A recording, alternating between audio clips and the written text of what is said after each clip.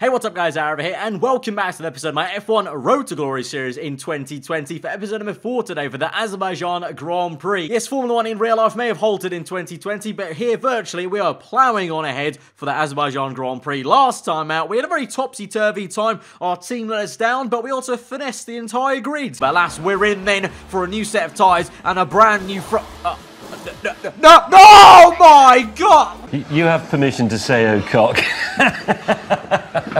once again, another safety car, another great finesse of the entire field. First podium of the season, and oh. So yeah, here we are then. We're doing what Formula 1 in real life cannot do, and we're here at the fourth round of the 2020 season at yet another Grand Prix circuit, which will be literally cancelled in real life. Uh, but, uh, you know, we, you know us. Here at the Road to Glory series, we're apparently pulling off miracles. I mean, to be fair, the fact I'm still recording this series and haven't jumped off a bridge in anger is a miracle in itself, and hopefully today and tomorrow and so on for the rest of the series, there will be many miracles to come as we try and get this Williams car to some glory and try to win a World Drivers' Championship here with the team. And also, we can the team, of course, but it's more really about me, let's be real. So we come here to Baku, then positive spirits, we obviously finessed the entire grid for the third time in a row now. We have got no failures on the car for upgrades here. Did you hear that in the back? No failures on the car. Let's just get away from that again. Once again, I did warn you I was going to say this. Once again, it's it's because technically we didn't actually purchase any upgrades, but when you don't, that's still that's still that's I think that still counts as having no failures. So I'm gonna count that one. But to be fair, you've got to give that to me because these are live shots of our team making our car, let alone upgrades or not. From the rear mount using bolts three inserted from the front of the mounting.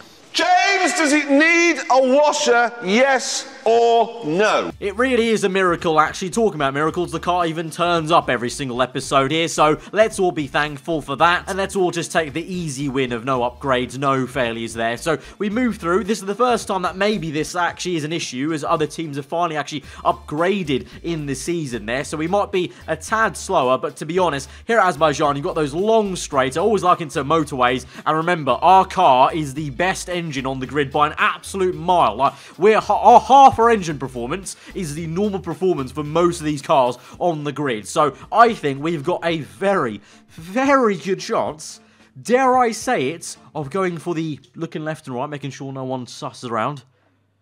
The double podium.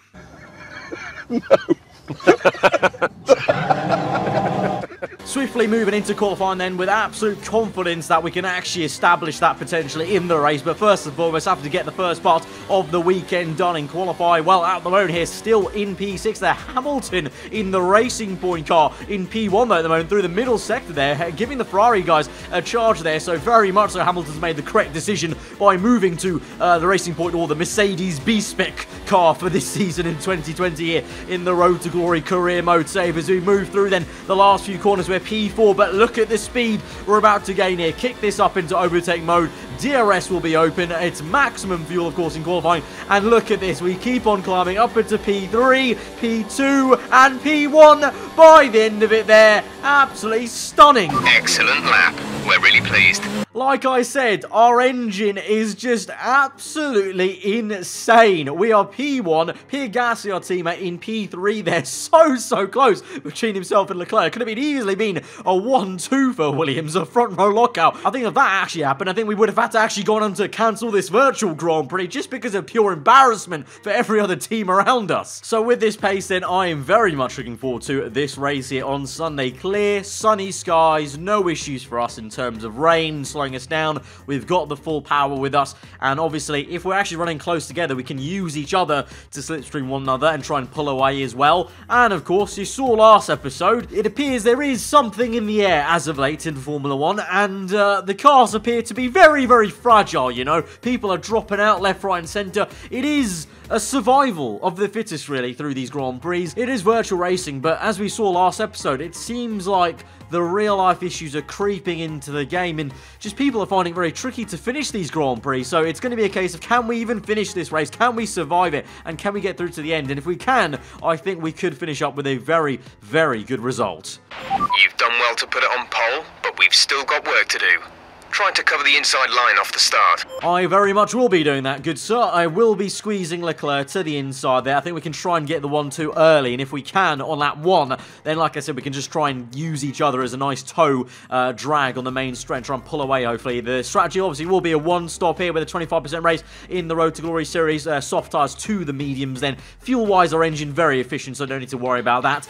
And we just uh, psych ourselves up and get raring to go for round number 4 of the 2020 season. Here we go on the front row of the grid for the Azerbaijan Grand Prix. Here we go to five red lights, and we are on the way and straight away going to left to squeeze out Leclerc into turn one. He's still there though, kept his elbows out. We've gone wide though, and this safety car has been called out within literal five or six seconds. And look at the top left. Oh, dearie me. There are only 13 cars running, seven DNFs into turn one there. It is a 1-2 for Williams. Gasly's overtaken Leclerc. He must have overtaken him just before the safety car came out there, so my squeezing did help.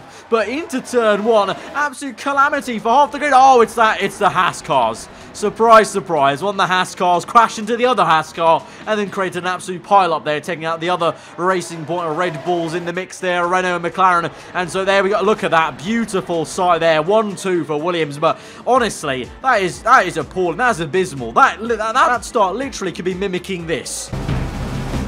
There we go. Reliant Robin.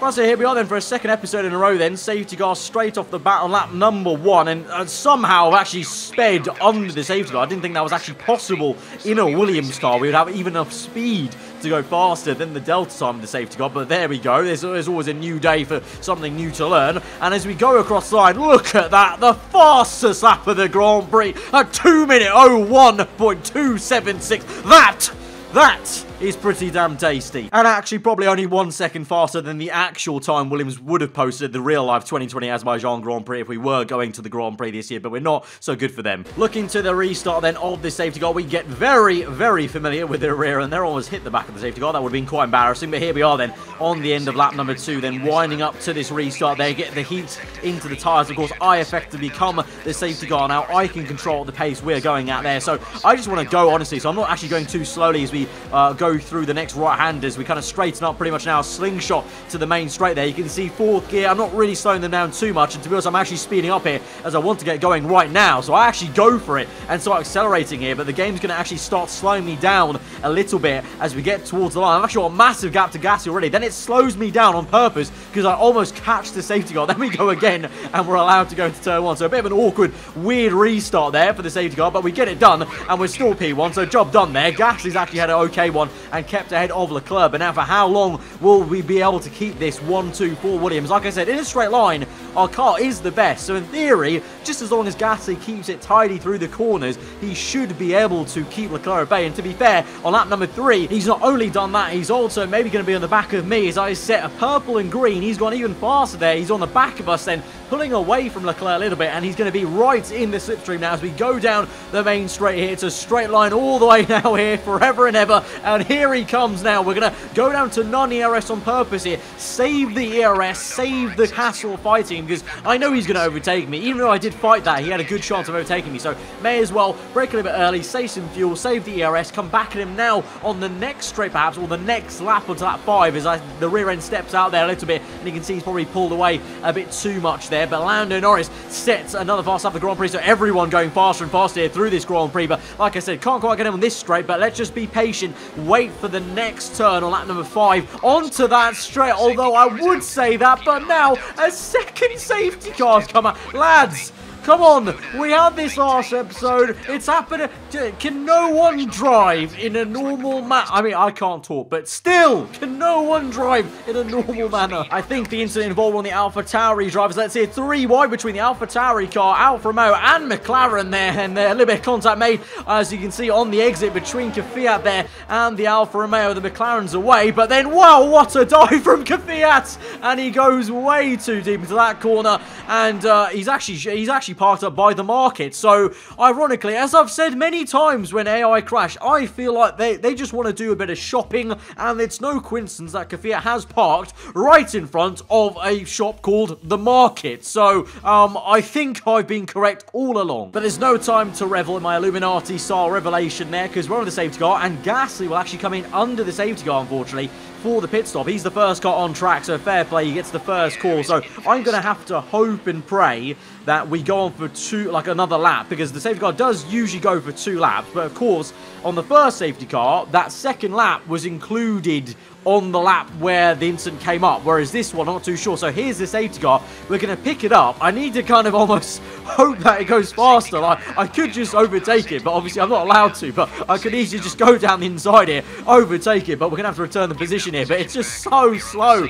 And obviously Gasly, fair play, like I said, he's the first man on the road, so he got the choice of going for the pit stop first. I could have double stacked, but I feel like that might have lost us positions as well, equally so. But uh, you can see here, I mean, come on, man. Just can, we go a little bit faster? Come on, Bert Mayländer, Bert, mate, just go fast. No, okay, come on, over to.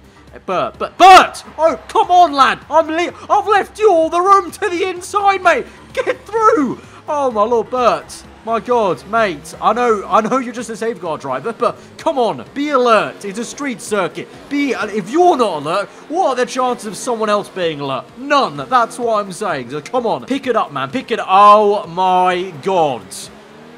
Box this up, please. I'm done. I'm done. I'm, I'm sorry. I'm done. I'm done. I literally just said, if Bert Mayländer is not alert in the safety car, what are the chances of if other people, two people have just crashed under the safety car? How do you actually physically crash? Three people! Three... Um, um, I... Uh, uh, um, I'm speechless. I'm so How does this happen? And before someone comments below, coronavirus, that's what's got them. I'm trying to make this video still monetize, okay? So I'm not to say it. I am actually completely baffled by what I've actually just witnessed in front of my eyes. Three people have crashed under a safety car. We have got a total of five people running in this Grand Prix now.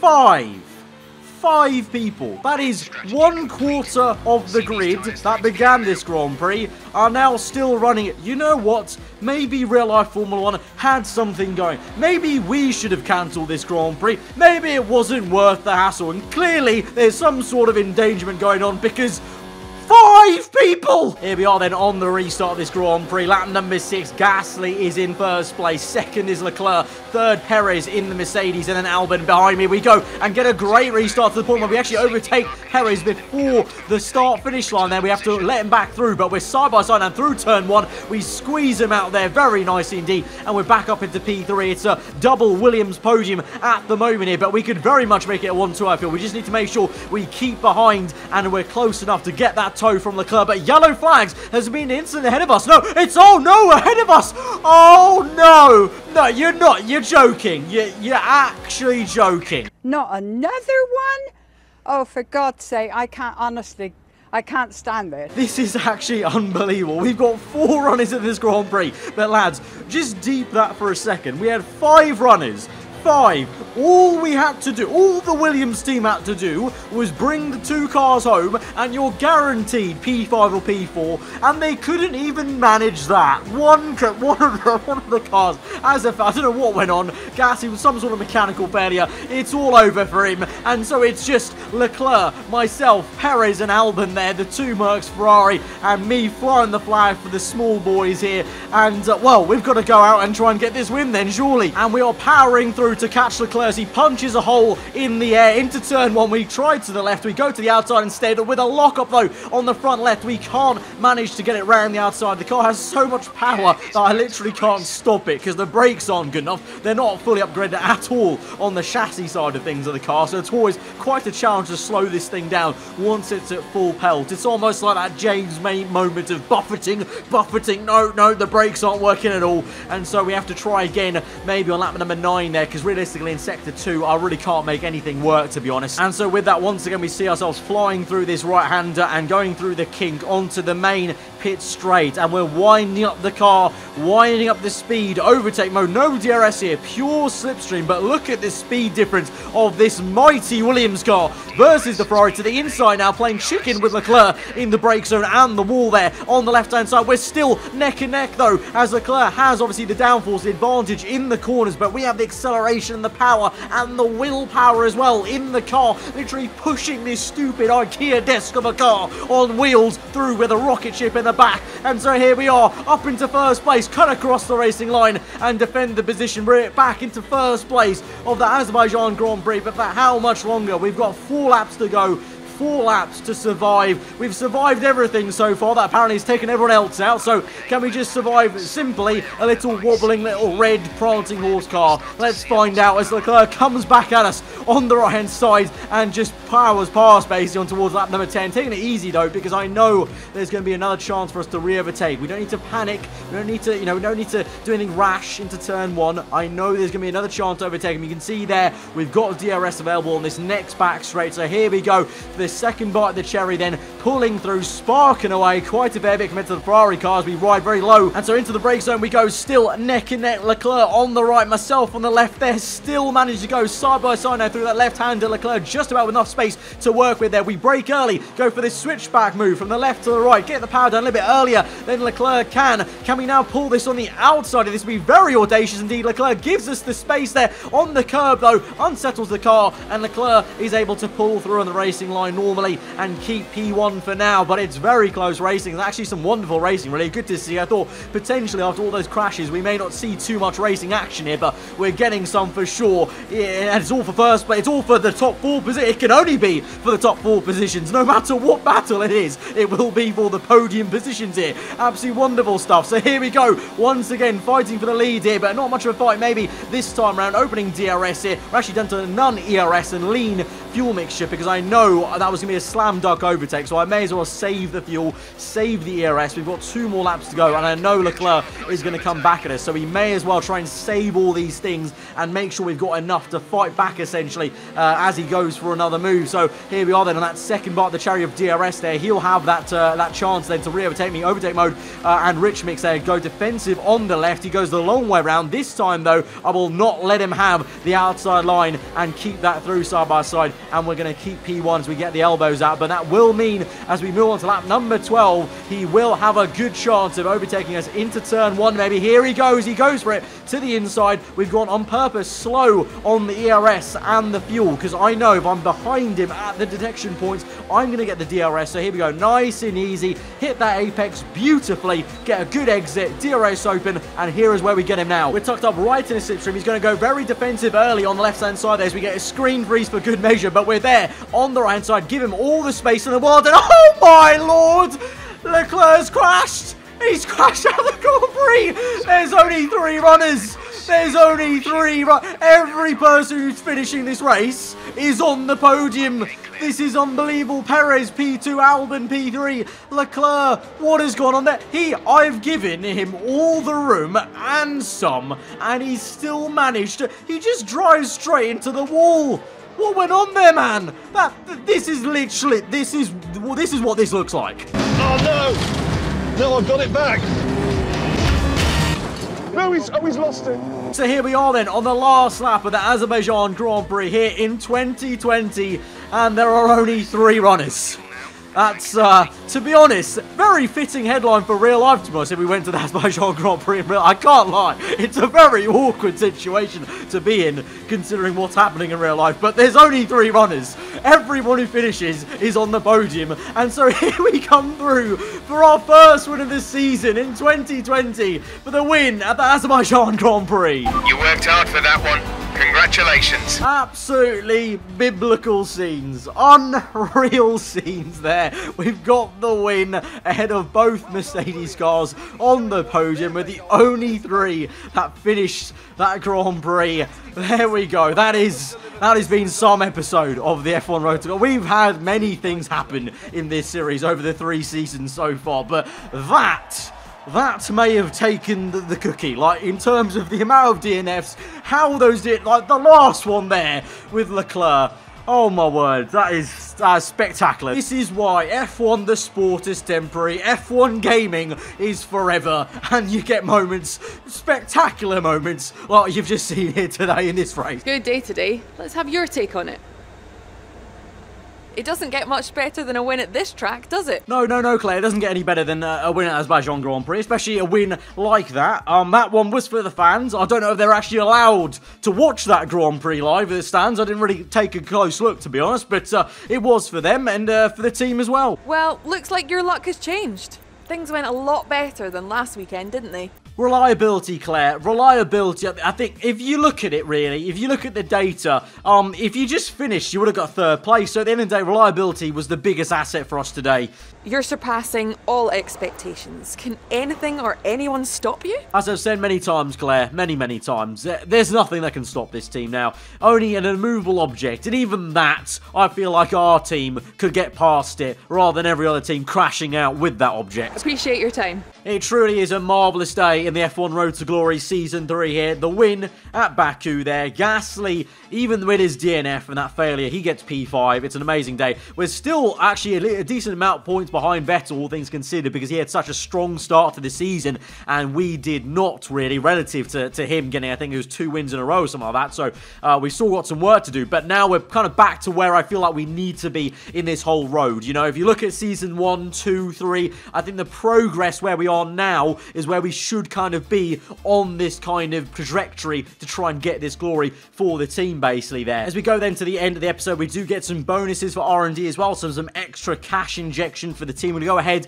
and purchase a, uh, well, as I actually mentioned, a uh, lack of upgrades on the chassis front in that race. We're going to go ahead and purchase a weight reduction upgrade for the chassis. That will come in for next episode, so that will mean we have three upgrades now for next episode. Two on the chassis side, minor and a major, and then the ultimate drag reduction. And I still don't understand how we've got some drag to reduce on this car. So this car somehow is going to get even faster in a straight line come next episode. Hopefully, if there are no failures. Obviously, this is the first time ever in this series now, next episode, where we'll actually have some upgrades that could actually fail. So we'll uh, not count our chickens quite yet. We'll see about that. But what a stonking and entertaining, mad episode that was, the F1 Road to Glory 2020. Guys, if you did enjoy, be sure to smash that like button. Let me know what you thought in the comments below. If you're new around here, then do get subscribed for weekly Formula 1 content. Of course, we've now got many IRL GPs cancelled, so if you need to scratch, so if you need to scratch that itch of F1 racing, then you can count on myself for F1 gaming content every single day. So get subscribed. I've been Aarava. Hope you guys enjoyed the rest of the day. I'll see you guys next time. Goodbye.